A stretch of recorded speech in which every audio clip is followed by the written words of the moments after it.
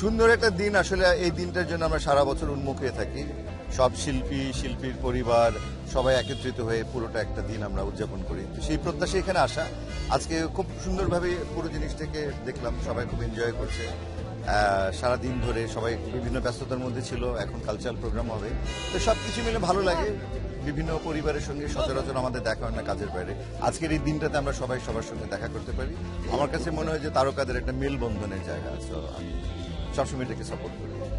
আসলে এক কথা আমরা তো সব মানে প্রত্যেক বছরই পিকনিকটা হয় এবং আমরা সমস্ত আর্টিস্টরা ওয়েটও করি পিকনিকের জন্য। কারণ আমরা কাজের ব্যস্ততার মাঝে ওইভাবে নিজেদের আনন্দ উপভোগ করতে পারি না। আর যেহেতু আমরা সবাই সবার জায়গা থেকে কিছুটা পরিচিতির সম্মুখীনই করতে হয়। তো পিকনিকটা যেটা হয় কি, আমরা আর্টিস্টরা সবাই করতে পারি। এখানে সিনিয়র জুনিয়র বা নতুন কারা আরও আসছে, তাদের সাথে আরও পরিচিত হতে পারি। মানে সব কিছু মিলে পিকনিক ওয়াজ পিকনিক মুড খুব ভালো লাগে, মজা লাগে। একটু পর আবার কিছু কালচার প্রোগ্রাম হবে, সেটাও আমরা দেখব। ভালো লাগছে সব কিছু। ক্রান্তিকাল বলে তো আসলে কিছু আমরা দেখি না। আমরা সব সময় আশাবাদী। আশা নিয়ে থাকতে পছন্দ করি। তো ভালো কিছু হবে, ভালো কিছু হচ্ছে, এটাই আশা করি। আর পিকনিক মানে তো আসলেই মিলন মেলা। এই যে আমরা, আমাদের ফ্রেন্ড সার্কেলগুলো একসাথে দেখা হয়। আমরা ন্যাচারালি সারা বছর যে যার কাজে, যে যার জায়গায় ব্যস্ত থাকি।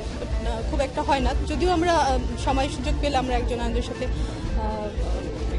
কমিউনিকেট করার চেষ্টা করি, কিন্তু পিকনিক হচ্ছে আমাদের মেইন উৎসবের একটা জায়গা, যেখানে আমরা সবাই একসাথে খুব মজা করি ফ্যামিলি সহকারে এবং একজন একজনের সাথে ভালো লাগা, ভালোবাসাটা শেয়ার করতে পারি শুধু পিকনিকের মাধ্যমে। সো ভালোই তো লাগে।